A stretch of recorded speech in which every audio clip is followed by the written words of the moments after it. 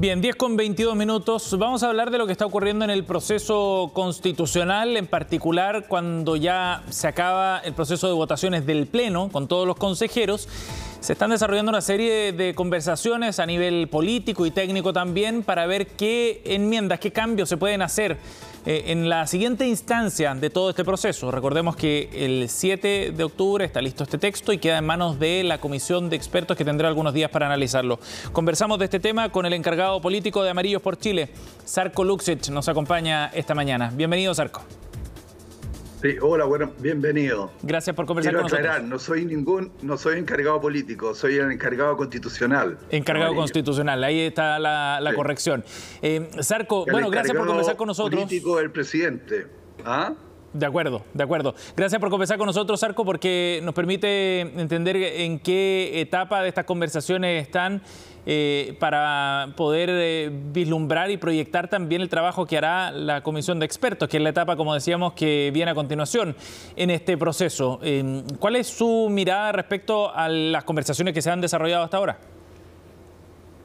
Mire, hasta ahora nosotros hemos tenido conversaciones tanto con, el sector o el bloque de, de oposición, y también hemos tenido conversaciones con el bloque oficialista. La idea es eh, generar puente, buscar los acuerdos, tratar de destrabar y, también tratar de, sacar eh, la paja del trigo, decir, todo aquello que no tiene, que es redundante, eh, todo aquello texto eh, que, no, que, no, que no ayudan al, acuerdo, tratar de ir eh, buscando reacciones donde tengamos una constitución que no sea solamente un sector, ya sea oficialista o un sector de oposición, sino que sea la constitución de todos los chilenos y que tenga una, una, proyección de 50 años.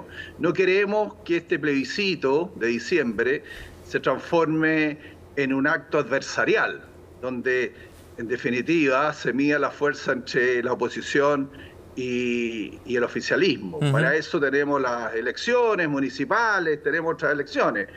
Para el plebiscito tenemos que unir fuerza y en eso a mí me han encargado como coordinador en materia constitucional. Sí eh, tratar de buscar esos puentes. Sarco, y hasta ahora en las conversaciones que han tenido, tanto con la oposición como con el oficialismo, ¿usted ha visto que hay genuina voluntad por tratar de construir esos puentes? Hasta ahora sí, yo he visto eh, bastante voluntad. Ayer tuvimos la primera, habíamos tenido antes reuniones técnicas entre, entre distintos eh, abogados y, y habíamos avanzado bastante con la gente más cercana a la oposición, los que habíamos estado con el, con el rechazo en la convención del año pasado. Eh, pero también para nosotros es muy importante poder eh, tender esos puentes y, lo, y, yo particularmente, personalmente, he hablado con el encargado de, del Partido Socialista, del, del Consejo Constitucional, del, perdón, del Comité de Expertos, y, ellos están trabajando, hoy día mismo en la mañana le pregunté cómo le está yendo, eh, ellos están trabajando como, como expertos, como expertos eh, más cercanos al oficialismo, para también elaborar un documento. Y, la idea es poder conocer ese documento, conocer ese documento y tratar de, buscar algún tipo de, como digo, de extrabar y también sacar la paja del, trigo. es decir, mucha, mucha palabra, mucho texto. Queremos un texto más sobrio, la verdad. Eh, eso le iba a preguntar sobre eh, cuál es el, objetivo, digamos, de, esta, de estas conversaciones. Eh, el objetivo me, me, refiero a la meta específica. un texto más corto, eliminar ciertas cosas que son las que generan controversia, negociar un artículo por otro. ¿Cómo, ¿Cómo se desarrolla eso? Mire, nosotros lo primero que hemos hecho es detectar eh, revisando el trabajo que han hecho tanto los expertos como lo que ha ido votando el Consejo Constitucional. Entonces hemos establecido cuáles son aquellos puntos donde, donde hay mayor diferencia. Eh, de hecho, nosotros como Amarillo y también hemos hecho este trabajo con Demócrata, eh, le hemos manifestado al sector de oposición al sector de oposición, que, en definitiva es la derecha, porque nosotros no nos identificamos más en un domicilio de centro, centro izquierda, centro derecha, pero, pero centro, eh, eh, de centro hacia la izquierda. Eh, y, lo que hemos hecho es primero hacer esta, esta suerte de, de, trabajo quirúrgico, con un bisturí, viendo los artículos, dónde están las controversias, dónde están los obstáculos, sugerir propuestas. Nosotros hemos sugerido muchas propuestas y, y, en general lo que sí puedo decir, que del sector de Chile va muy republicano, hemos visto una buena voluntad. Ayer eh, nos reunimos y yo noté un ambiente eh, muy constructivo. La idea, todos quieren eh, que haya un texto que no sea, no sea solamente un sector, sino que sea para todo Chile. Pero nos falta el otro lado, que es muy importante. Por supuesto. Sin el otro lado, sin, sin la centroizquierda y la izquierda, el trabajo sería, sería incompleto. Sarco, ¿y qué temas, por ejemplo, son los que están en el centro de esta negociación? ¿Nos puede ejemplificar para entender bien eh, qué tan profundo es el, cambio que se quiere hacer al texto que hasta ahora está tomando forma en el Pleno? Yo, mire, más que hablar de la puntualidad de cada uno de los preceptos, yo hablaría más de sectores. Eh, hay, una, hay, un, hay un tema que es muy importante, especialmente eh, para nosotros, que es que el Estado social y democrático de derecho esté, eh, en un lugar destacado dentro del texto constitucional. Lógicamente también creemos que un Estado tiene que aceptarse y, tiene que reconocerse un Estado también que respete los distintos órganos autónomos, lo que se denomina un Estado subsidiario. Pero creemos que eh, tanto para nosotros y también para la gente más de la, de la centroizquierda y la izquierda, ese es un tema importante.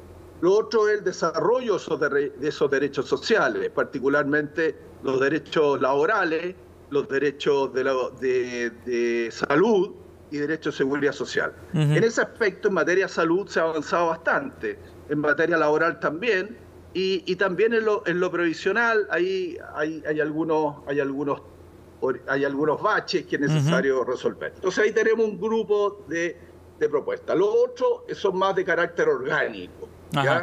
Eh, o sea, ¿Cuál es el número de los integrantes de la Cámara de Diputados que se le quiere rebajar a 138? ¿Será bueno 138 o, bueno subir un eh, o subir algo? Otros son más de carácter eh, de derechos civiles, civiles que tienen que ver con el derecho a la vida, etcétera. Yo creo que son esos tres rubros: orgánico, eh, derechos sociales, Estado social y democrático de derecho y derechos civiles, eh, algunos relacionados con el rol de los padres, la importancia de la protección de los, de los hijos, de los, de los niños, también para nosotros muy importante. Ahora, esto, esto es interesante porque eh, la experta Catalina Lagos, eh, integrante de la comisión eh, del Partido Socialista, decía también que acá no se puede abordar esto como una discusión en una lista acotada de temas específicos, sino que hay que verlo como un conjunto. profundizando en eso, Paulina Bodanovich, presidenta del PS, también decía que esto no era metrópoli, ¿no? una indicación por otra. ¿Usted coincide en eso, en que es necesario tener una mirada más de conjunto, digamos, del texto y no una negociación artículo por artículo? Mire, son métodos de negociar. Yo negocio siempre negocio colectivamente y, hay métodos donde uno va, se le llama la teoría del salame, que va por, por eh, indicaciones, por preceptos, y otro una mirada total. No son incompatibles los dos. al final de cuentas siempre está la totalidad. Eh, yo espero que no sea mera excusa para entrar al fondo del asunto. Yo, cuando uno negocia, negocia la totalidad y la particularidad son absolutamente compatibles. Yo no, le veo una, diferencia en eso. Ajá. Eh, pero puede ser ese un obstáculo, cree usted, eh, a la hora de, llegar a esos acuerdos, eh, porque mm, claramente hay una dificultad si es que se, se, hace una mirada más completa, más holística de todo el texto. se hace más difícil también entendiendo que acá, desde el Pleno, viene cierta orientación política, ¿no? Viene una orientación eh, y un espíritu que guía eh, el texto en su conjunto. Y es eh, en parte lo que ha plasmado la mayoría, ¿no? El Partido Republicano en conjunto con Chile Vamos. Sebastián, yo soy profesor de Derecho Constitucional. Yo cuando estudio una parte, un capítulo de la Constitución, estudio ese capítulo y lo relaciono con toda la Constitución. Por eso le digo que usted puede estudiar un precepto, por ejemplo, el derecho a la salud, lo relaciona inmediatamente con el Estado Social y Democrático de Derecho, lo relaciona inmediatamente con las acciones de protección respecto a ese derecho social, lo relaciona inmediatamente con el quórum de aprobación. Es decir, es obvio, pero tenemos que entrar a, establecer un, el listado, el listado de cada uno de los preceptos, porque si no, no tenemos tiempo. De acuerdo. Y le quiero decir otra cosa, Sebastián. La orientación de este texto constitucional están en las bases al cual todos los partidos políticos, y estuvo desde el Partido Comunista hasta la UDI, suscribieron esas bases, nosotros también como amarillo, suscribimos esas bases, y esa es la orientación. Y en la orientación habla de Estado Social y Democrático de Derecho, sí.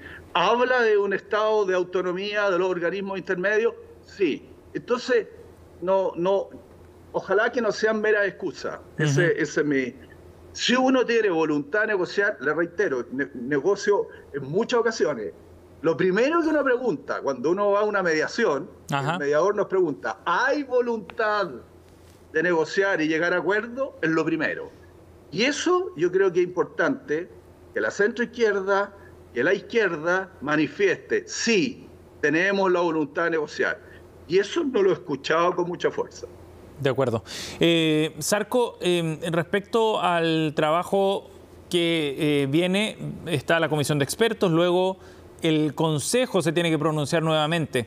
¿Cómo ve usted ese, ese proceso, entendiendo que el Consejo también, me imagino que trata de poder representar bien los intereses legítimos que, que, han planteado? son una instancia en ese sentido legitimada por el voto ciudadano. Eh, ¿Cómo ve usted esa relación entre ambas instancias? Eh, en la medida en que la comisión de expertos eh, no pase por encima, eso voy, del Consejo. No, mire, hay un procedimiento que fue aprobado a través de una reforma constitucional por el Congreso, donde establece de que una vez evacuado el informe, el texto, que va a ser, como usted bien dijo al inicio del programa, el 7 de octubre, el, comité de expertos tiene cinco días para revisar cuál es, en definitiva, el informe o el texto emanado del Consejo Constitucional y le va a hacer observaciones. Y va a votar cada una de los artículos y preceptos. Y podrá aprobar o rechazar. En aquellos casos donde no haya una aprobación ¿ya? y tampoco hay un rechazo, va una comisión mixta. Y esa comisión mixta la integran del Consejo Constitucional y el Comité de Expertos. Por lo tanto, las dos instancias están legitimadas para destrabar y para buscar el acuerdo cuando haya diferencia.